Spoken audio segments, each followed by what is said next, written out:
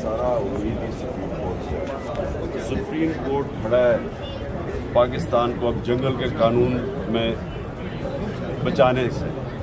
क्योंकि और कोई अब रास्ता नहीं है। लोगों को उठाया जा रहा है, गायब है। ये चालीस मेरे ऊपर अगर दहशत गर्दी केस पुल पे मेरे ऊपर केसेस कर दिए कौन मुझे पचास साल से जा क्या कोई मानने के लिए तैयार है कि मैंने चालीस दफ़ा दहशत गर्दी किया मुल्क में तो जब आप कानून की धज्जियाँ उड़ा देते हैं, जब पब्लिक का कॉन्फिडेंस ही चला जाता है, सारी गवर्नमेंट के जो ये जो सिस्टम है इंसाफ का, उसके बाद तो उसमें और बनाना रिपब्लिक में क्या फ़र्क है? बनाना रिपब्लिक में कानून ही ना होता, यही बनाना रिपब्लिक इंसाफ ही नहीं होता।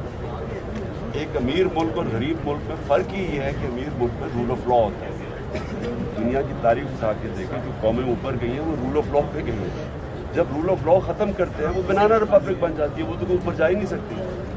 अच्छा सर अच्छा, साहब ये बताइएगा सोलह करने अरब का मुकदमा दर्ज किया गया था इमरान आपके दौर में शहबाज शरीफ वगैरह के खिलाफ। अच्छा आपको नहीं लगता कि अकबर साहब ने आपको मिसगाइड किए रखा? क्योंकि अदालतों में जो रिकॉर्ड आया बाद में वो बातें सामने आई कि वो सिर्फ़ और सिर्फ़ वो जो डिब्बों में रिकॉर्ड आता था वो किसी और का रिकॉर्ड होता था उनके खिलाफ नहीं था। तरह की बातें बता कि आपको सर पहले मिसगाइड किया गया था।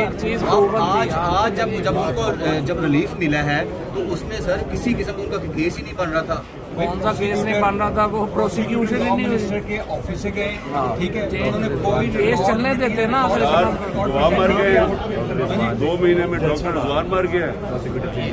अच्छा आप एक आप एक मिनट ये खान साहब एक क्वेश्चन बस आपका हो गया। छब्बीस तारीख को आप जलसा करने जा रहे हैं।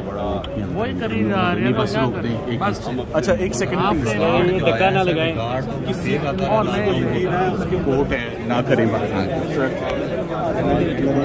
चलेगी नहीं।